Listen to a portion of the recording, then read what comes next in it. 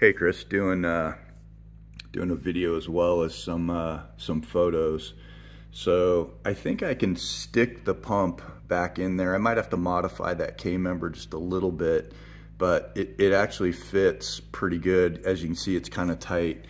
That that mount that you have on there obviously doesn't line up with the with the with the AC mount that um, that uh, that I think you were thinking but uh, at least it does sort of slide into that spot in between the engine and the K-member and the engine mount right there. As you can see, I might have to modify it a little bit, but I'm not worried about a small modification. The way that's set up with that front drive, you can see the front drive sticks out quite a bit. I think you said we could do a shorter front drive so that it pulled the pulley back. Um, so if we can do that, that would be great. Probably just a little bit less torque on that uh, on that pulley. Um, I think you would you would have me leave uh, the the drive pulley that's behind the balancer just leave that there.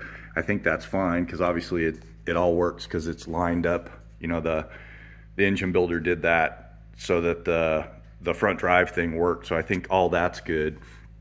Uh, so it's really just coming up with a mount for the pump and a way to uh, a way to be able to adjust it. Agreed, you know, adjustment in that in that belt's gonna gonna be dependent upon me modifying that K member, but I think I can swing that.